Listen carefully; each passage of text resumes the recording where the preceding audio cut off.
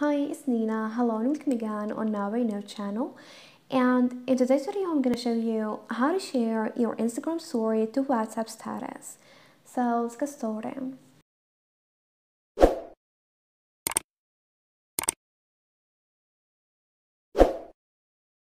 Well, after getting the app and to share your Instagram story to WhatsApp status, then the first thing we're going to do is to create a story.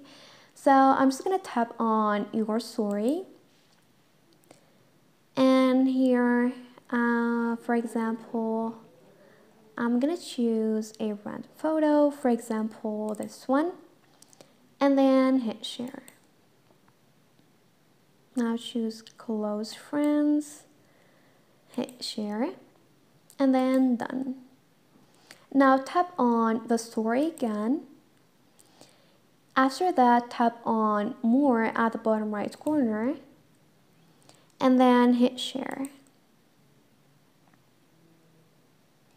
Now I'm just gonna swipe through here and look for WhatsApp. So here it is. Now tap on it and then choose My Status.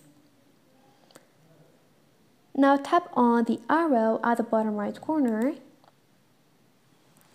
and like your story has been shared as a WhatsApp status. So anybody who messaged you on WhatsApp can go to your Instagram account and see your story.